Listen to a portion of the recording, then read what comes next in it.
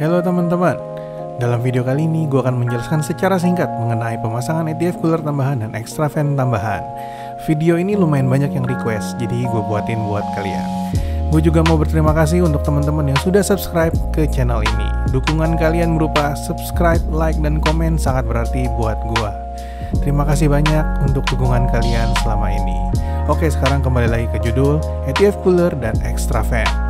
Sebelum memasang kedua alat ini, kita perlu memahami kebutuhan masing-masing setiap orang berbeda dari mobilnya. Gua hanya menyarankan ETF cooler dan extra fan untuk mobil yang masuk ke minimal satu kriteria dari tiga kriteria berikut. Yang pertama, sering macet-macetan. Yang kedua, sering rute nanjak panjang. Yang ketiga, sering muatan penuh. Dan mungkin yang keempat, tambahan bonus yang sering liburan jauh. Kalau kalian flashing oli matic dan warna oli matic bekas kalian sangat gelap, itu salah satu pertanda oli kalian sering terlalu panas dan mungkin juga karena interval flashing oli matic kalian terlalu jauh. Gua hanya merekomendasikan ETF cooler dari merek yang sudah gue kenal, yaitu Hayden dan Mishimoto karena gue sudah pernah pakai kedua merek ini. Mereka sangat awet jika dipasang dengan benar. Namun tidak menjadi masalah jika kalian ingin mencoba ATF cooler merek lain. Yang penting fungsi pendinginan oli transmisi kalian tetap ada. Hal pertama dalam pemasangan ETF cooler tambahan adalah kalian harus mencari selang inlet dan outlet oli transmisi mobil kalian di dekat ETF cooler bawaan mobil kalian. Beberapa mobil ada yang ETF cooler bawaan itu terpisah dari radiator. Namun ada juga yang ETF cooler bawaan itu menyatu di sisi bawah atau atas radiator. Gua merekomendasikan ETF cooler tambahan diletakkan di jalur sebelum inlet oli transmisi menuju ETF cooler bawaan mobil kalian. Mengapa? supaya suhu oli transmisi dapat diturunkan sebelum masuk ke ETF cooler bawaan.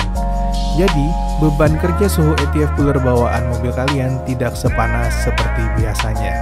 Hal ini tentu saja akan membantu ETF cooler bawaan mobil kalian atau radiator yang menyatu dengan ETF cooler bawaan itu jadi lebih awet. Dan kalaupun ETF coolernya yang rusak atau bocor duluan, kita tidak perlu bongkar semua sistem pendinginan bawaan, hanya cukup ETF cooler tambahannya saja. Namun, jika kalian ingin bypass ETF cooler bawaan atau tidak mau menggunakan ETF cooler bawaan mobil kalian, bisa juga. Namun, pastikan ke mekanik atau bengkel yang mengerjakan untuk tidak meninggalkan siklus terbuka dari jalur ETF cooler bawaan mobil kalian. Setelah ETF cooler tambahan terpasang, baru kita pasang extra fan di depan ETF cooler tambahan. Extra fan di depan ETF cooler tambahan hanya bisa dipasang pada mobil yang memiliki ruang yang cukup di antara radiator dan grill depan. Pemasangan dengan menumpuk atau menempel ETF cooler tambahan berdekatan dengan extra fan akan menurunkan suhu transmisi kalian secara signifikan. Jika pemasangannya tidak ditumpuk atau tidak ditempel berdekatan, suhu transmisi tetap turun, namun tidak sesignifikan seperti pemasangan yang ditumpuk atau ditempel berdekatan.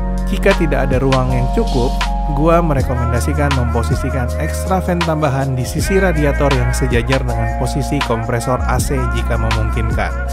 Posisi extra fan seperti ini akan menurunkan suhu panas kompresor dan kondensor sehingga kompresor dan kondensor kalian bisa menjadi lebih awet. Extra fan dipasang menggunakan relay yang mengambil arus trigger dari cut-off kompresor AC. Jadi maksudnya kalau AC mobil sedang narik, maka fan ikut nyala, ikut bekerja meredam panas beban kerja mesin yang bertambah ketika AC mobil sedang menyala.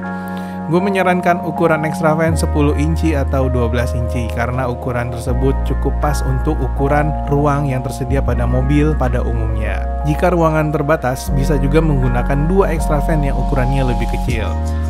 Demikian tips dan trik mengenai ETF cooler tambahan dan extra fan tambahan dari gua. Jika kalian merasa penasaran dan mau mencoba, pastikan kalian pasang di bengkel atau mekanik yang mengerti supaya nggak salah pasang.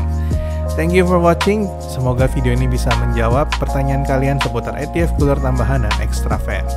Jangan lupa like, comment, share, dan subscribe untuk terus mendukung channel ini. Tonton juga video gue yang lain di mana gue membahas servis, pilihan mobil, dan bengkel rekomendasi. Sampai jumpa lagi di video berikutnya.